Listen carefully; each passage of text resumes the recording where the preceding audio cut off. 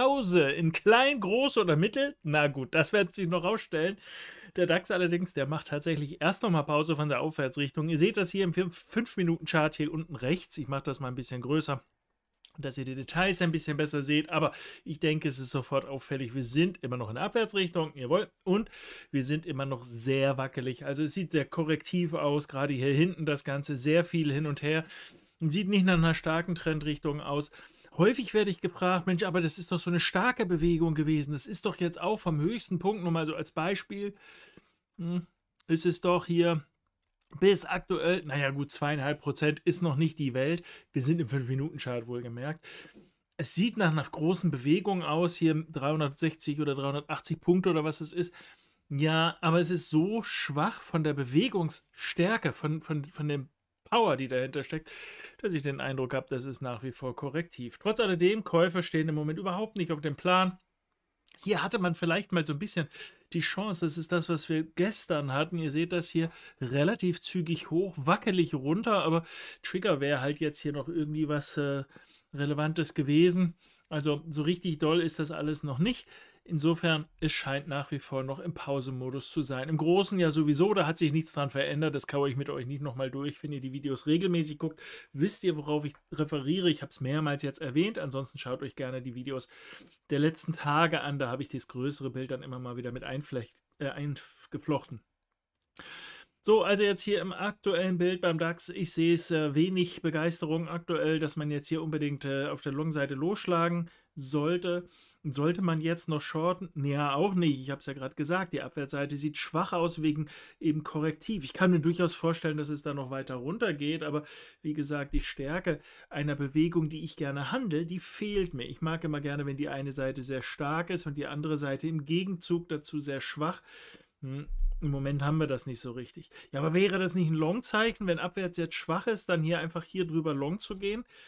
Ja, zur Not würde das sogar gehen. Ich würde allerdings noch besser finden, wenn der Markt hier diese Aufwärtsbewegung ein, ein entsprechendes Format eben bringt, nämlich in eine Schubbewegung und dann wackelig runter. Und dann finde ich es fast noch besser, dieses hier oder wie auch immer diese Korrektur aussieht. Wir wissen ja dreiwellig A, B, C, so in den mittleren Bereich rein oder eben mit mehreren Kursüberschneidungen, dann finde ich diese Einstiege sogar noch besser als diese hier. Aber natürlich kann man versuchen, hier auf die Long-Seite äh, mit aufzuspringen. Hm, so richtig glücklich bin ich aber mit so einer Bewegung, einfach weil das Ausmaß zu klein ist. Also solche Trigger finde ich super, wenn wir hier unten waren. Also diese gesamte Strecke wieder so halbiert haben. Das ist das, was ich hier im Großen, im Tageschart mal gemalt habe. Dann wäre das passend, aber hier jetzt so im Kleinen, der Rücksetzer ist ja doch ganz schön wenig ausgeprägt. Dann finde ich es besser, wenn das Bild so aussieht. Ist das denn realistisch?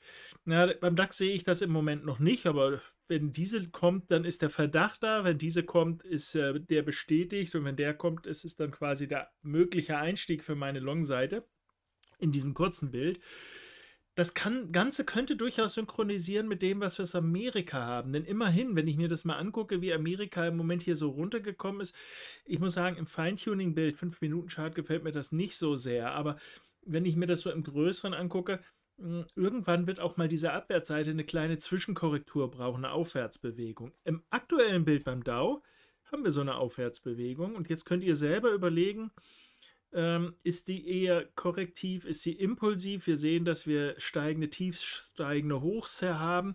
Das sind typische Korrektivmuster, die wir hier haben. Also so richtig hm, die große Freude für den Anstieg sehe ich ja aktuell noch nicht. Wer jetzt im Moment long ist, macht das vielleicht gar nicht mal so falsch, denn die letzte Abwärtsbewegung hier, die ist relativ korrektiv, die war noch dreiwellig, die ist korrektiv, die ist ja, wahrscheinlich auch eher dreiwellig. Also irgendwie aktuell bin ich mit der Long-Richtung durchaus okay.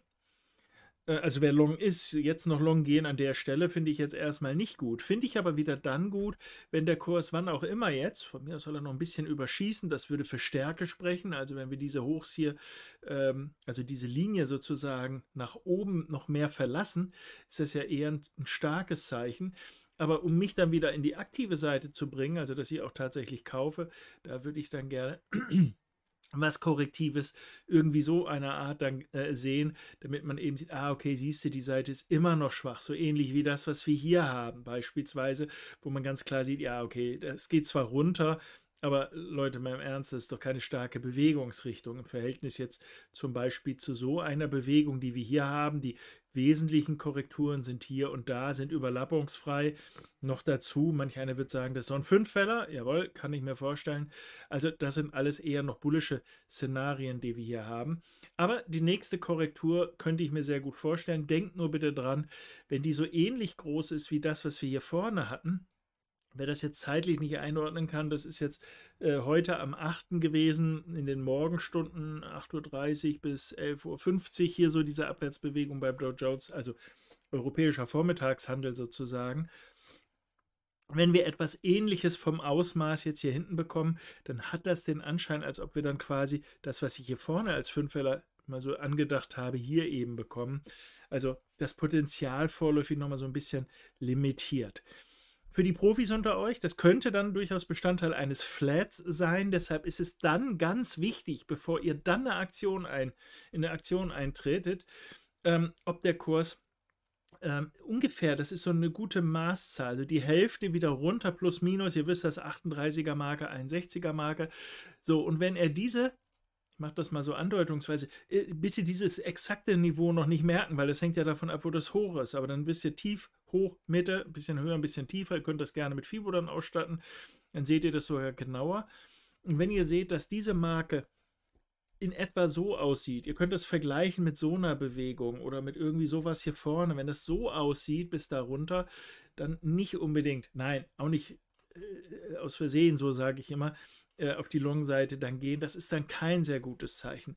Geht die Bewegung aber auch auf dieses Niveau runter, aber eben so, also wieder so korrektiv, nur eine Nummer größer quasi oder so wie hier, ja, sowas in der Richtung so von der Optik. Oder alternativ eben dreiwellig, dann wäre das hier sozusagen ein wunderbarer äh, möglicher Einstieg dann für die Long-Seite, dass wir zumindest nochmal ein gutes Stück nach oben gehen. Vielleicht die Orientierung ist das hier hoch. Ist nicht mein favorisiertes Bild weil äh, der Anfang hier nicht so richtig die Sprache spricht. Der Punkt ist nämlich höher als die. Also ich kann mir das vorstellen, dass das passiert, aber ich, meine Erwartungshaltung ist nach wie vor eher für die Abwärtsseite. Das liegt eben einfach an diesen Verhaltensmustern, steigende Tiefs, steigende Hochs hier. Dann passt das nicht so richtig, dass wir von hier beginnend jetzt diesen Fünffeller haben. Aber sicher weiß man das natürlich nicht. Deshalb ist es so wichtig zu gucken, ob wir in dieses Niveau, in, in, in diesem Bereich hier so eine Bewegung haben. Alternativ so eine Bewegung, ebenfalls korrektiv, dreiwellig, ihr erinnert euch. Oder ob wir so eine Bewegung haben. Ja, also ihr seht, wie die, wie die Sachen so zusammenhängen. Wenn ihr nämlich so eine steile Bewegung habt, ich äh, mache das nochmal so ein bisschen frisch, also stellt euch vor, ihr kriegt jetzt das so. Ist nur so ein, eine, eine, realistische Möglichkeit. Ich will, dass ihr eure Augen so ein bisschen schult auf das, was ihr erwarten könnt. Und wenn sich das dann ergibt, wenn dann eben diese scharfe Abwärtsbewegung kommt und dann aber wackelig nach oben, also genau umgekehrt. Also im Prinzip so ähnlich wie das, was wir hier hatten, wieder stark abwärts. Hier, gut, das ist nicht so auffällig vielleicht, aber ähm, so ähnlich wie wir das hier haben, nur umgekehrt eben, nämlich mit der starken Abwärtsseite und der schwachen Aufwärtsseite, dann sind das wiederum Trigger für die Abwärtsseite und möglicherweise das Ende dieser Aufwärtsbewegung und dass sich das in irgendeiner Form nochmal nach unten fortsetzt. Das hatten wir ja in den letzten Tagen angesprochen dass es gar nicht so unrealistisch ist, dass der Markt da noch ein bisschen weiter nach unten unterwegs ist. Also für den Moment ähm, finde ich aufwärts noch ganz okay. Das bleibt auch so lange wir Abwärtsbewegungen dieser Art haben. Ihr könnt das immer mal so ein bisschen vergleichen, wenn es so ähnlich aussieht. Ihr könnt euch das ja daneben malen und könnt dann gucken, was hat der Kurs gemacht. Ja, Im Moment haben wir noch gar keine Korrektur, deshalb können wir es nicht vergleichen. Alternativ könnt ihr immer dreiwellig, ja, dreiwellig ist auch relativ nachvollziehbar, irgendwie so A, B, C. Wenn ihr sowas hier in der Richtung habt, das ist auch typisch korrektiv. So lange bleibt es aufwärts, insbesondere wenn wir dann diese Zwischenhochs hier triggern. Also letzte Tief, vorletzte Tief, das Hoch hier, das wäre jetzt zum Beispiel so ein Trigger. Wenn ihr sowas ähnliches hier bekommt, ist das eine Orientierung. Trotzdem bin ich verhalten nur auf der bullischen Seite. Also für Intraday nachmittags jetzt hier, solange dieses Verhaltensmuster so in der Form eben passiert, alles super. Sobald es kippt, also Schub nach unten, wackelig nach oben, ist aufwärts erstmal gestorben und es geht wohl eher nochmal in die Abwärtsrichtung. So ähnlich wie man das hier vorne eben erkennen kann. Das ist grundsätzlich eine, eine Geschichte, die bei allen Märkten natürlich funktioniert und ihr seht das hier beim ähm, S&P 500 haben wir hier das ähm, ebenfalls sehr ähnliche Bild hier Anstieg, sehr wackelig runter, muss wohl korrektiv sein. Korrektiv ist falsche Richtung. Hier war vielleicht eine Gefahr der Verwechslung. Also hier hätte ich gegebenenfalls auch gesagt, oh, passt mal auf, steil runter, wackelig hoch. Ja, okay. Aber ich konnte schon nach der ersten, spätestens nach der zweiten 5-Minuten-Kerze erkennen, das wird es wohl nicht mehr. Das heißt, die Verwechslungsgefahr, also an der Stelle hätte ich mir einen Short überlegt, da hätte ich gesagt, oh, jetzt pass mal, also nicht an der Stelle, aber als ich das gesehen, machen wir es mal rückwirkend, so von wegen, an welchen Stellen passiert was, so, noch bin ich bullisch eingestellt, bullisch eingestellt, bullisch eingestellt. Und ihr wisst, ihr müsst natürlich, wenn ihr hier irgendwie bullisch unterwegs seid, solltet ihr irgendeinen Stop, Stop-Mechanismus haben. Das haben wir mehrmals jetzt erwähnt. Das könnte irgendwie sowas in der Richtung sein. Ein bisschen weiter weg, ein bisschen enger. Ihr werdet das nie optimal treffen. Ich mache mal bewusst den etwas weiteren. Also wenn ihr sagt, ich möchte es möglichst lange durchreiten, dann habt ihr vielleicht den und äh, dann werdet ihr an der Stelle hier natürlich ausgestoppt worden, weil offensichtlich geht er in die andere Richtung. Im, gut, streng genommen hat er hier sogar überschnitten, also es sieht eher korrektiv aus. Aber weil es sehr, sehr schnell war, sehr steil, wenn er jetzt sagt, ah, macht euch sowas, dreiwellig oder eben nochmal hinten dran mehrwellig mit Überschneidung, dann hätte ich hier natürlich meinen Short gesucht. So, dann hätte ich dann hier gesagt, okay, ein bisschen tiefer, dann muss das irgendwie so aussehen. Ja, irgendwie sowas. Ach so, nee, doch nicht. Also ihr seht, ähm, Überlegt euch so unterwegs zu sein, das wird euch nicht immer helfen. Jetzt kann man sagen, ja, jetzt bin ich ja ausgestoppt, der Kurs steigt weiter. Ja, aber das wusste man zu dem Zeitpunkt ja nicht. Deshalb, solange der Trend ist, zieht irgendwie den Stop hinterher. Das ist eine sehr billige, nicht die optimale, optimal geht sowieso nicht, aber nicht immer die immer beste Variante, aber es ist eine, die euch typischerweise in Trendbewegungen lange drin hält. Wenn ihr den Supertrend nicht habt oder nicht so gerne mögt, kann ich auch verstehen, dann macht ihr alternativ den Parabolik. Die Logik wäre die gleiche, ihr werdet ein bisschen höher ausgestoppt worden. Parabolik hat den Vorteil, er sichert euch mehr ab, aber wenn ihr Pech habt, fliegt ihr halt zwischendurch auch mal irgendwo raus und dann ist die Frage, komme ich wieder rein oder nicht. Ihr müsst den ja nicht im 5-Minuten-Chart einsetzen. Ihr könnt natürlich auch gucken, dass ihr sowas im 15-Minuten-Chart, dann sind die Stops natürlich ein bisschen weiter weg. Aber dann ist die Gefahr, zwischendurch rauszufliegen, äh, natürlich nicht ganz so groß. Hier schon, aber gut, das war jetzt ja auch erstmal korrektiv hier. Ja, wir suchen ja immer Trendbewegung. Also ihr seht so ungefähr, worauf das hinausläuft. So, das heißt allerdings umgekehrt wieder, jetzt sind wir doch ja relativ stark nach oben unterwegs. Wer jetzt warum auch immer long ist, muss natürlich wieder den Stop hinterherziehen, keine Frage. Aber ähm, im Zweifelsfall, wenn wir sowas bekommen, kann man auch nochmal auf Fortsetzung plädieren und sagen, naja, die Seite ist halt immer noch schwach, ich gehe nochmal long. Allerdings, weil es Fortsetzung ist, ist ja schon hier eine Korrektur, schon mehrere Korrekturen gewesen, was auch immer das hier für eine war, aber mehrere Korrekturen gewesen. Das heißt, ich kann nicht automatisch sagen, dass diese Länge nochmal passiert, aber wenn ich hier reingehe, bin ich relativ zuversichtlich, dass wir das alte Hoch nochmal rausnehmen. Das ist sehr, sehr typisch. Das heißt, ich kann natürlich dann an so einem Zwischenhoch long gehen und dann versuchen, bis dahin drin zu bleiben ähm, Stop ungefähr dann auf dem Einstieg oder in die Nähe des Einstiegs und wenn er dann wirklich umdreht, ja, dann habe ich halt Zeit verloren, nichts gewonnen, nichts verloren, so großartig. Und wenn er weiterläuft, äh, dann werde ich ja nicht ausgestoppt, dann ziehe ich halt auf irgendeine Art dieser Mechanismen dann eben hinterher und sage dann, okay, dann passt das schon. Also ihr seht, auch der hier ist eher für die Long-Seite aktuell, weil eben das noch die starke Seite ist.